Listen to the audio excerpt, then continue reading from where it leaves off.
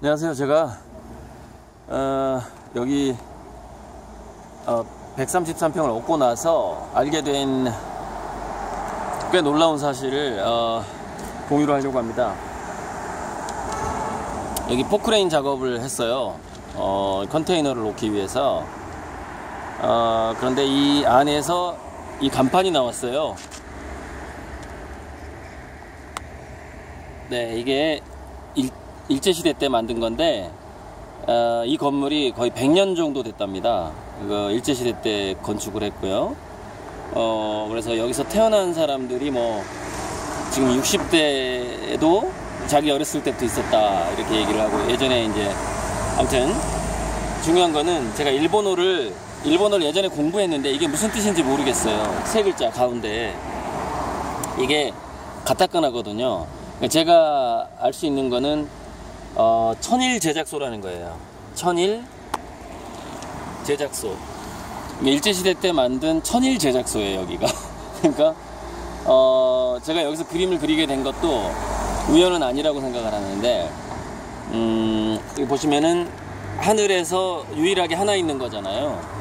그러니까 원래 아트라는 게, 에, 회화 작업이라는 게 유일하게 하나만 있는 거거든요. 그러니까 하늘에서 하나만 있는 제작소다. 이렇게 저는 해석이 되거든요. 하나만 있는 걸 만드는 거예요. 하늘에서 오직 하나만 있는 걸 만드는 곳인 거죠. 어 그리고 또 저는 이렇게도 한번 해석을 해봤어요. 천일 천하제일이라고 또 해석을 해봤어요.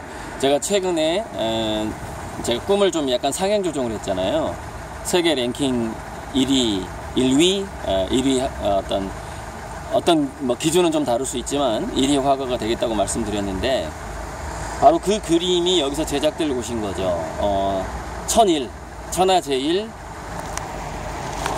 제작소. 그런데 어, 혹시 이제 일본어를 좀 공부하신 분은 이거를 이게 이게 이제 음으로 어, 가타카나가 이게 시뭐뭐뭐것 같은데 제가 예전에 일본어 잠깐 공부했거든요. 근데 뜻을 모르겠어요. 그러니까 무슨 얘기냐면 이거 이거 세 글자.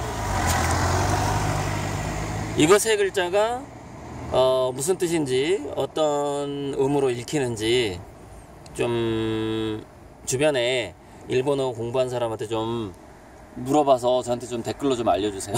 그러니까 어, 천일 뭐뭐뭐 제작소인데 이 뭐뭐뭐가 뭘지 너무 궁금해요. 왜냐 예, 아무튼 예, 저기서 이제 저기서는 좀 강아지를 좀 키울 생각이고요.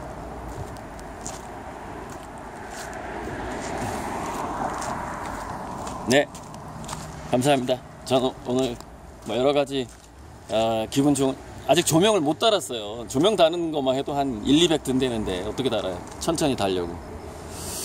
오늘 여러 가지 기분 좋은 일이 있어서 어, 이, 이 건물을 계약해준 어, 부동산 형이랑 와인 한 잔 하고 있습니다. 네, 이상입니다.